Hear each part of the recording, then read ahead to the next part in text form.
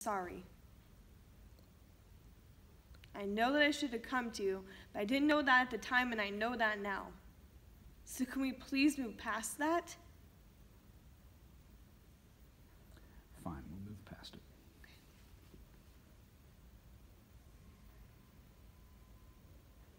We done? You just listen for two seconds? Listening. I lied to you. I did, and I'm so sorry. I really am, but you lied to me too. How did I lie to you? You told me that everyone is equal and deserves a fair chance, but you only met people who were just like you.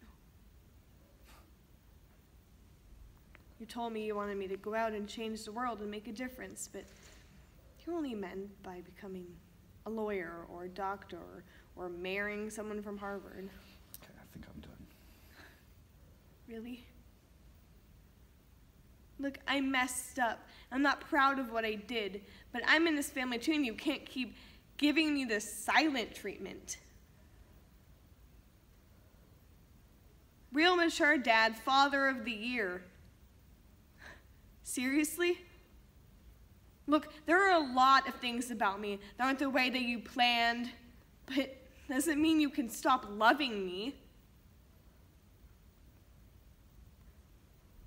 Look, I let you down. I did, and I'm so sorry, but you let me down too.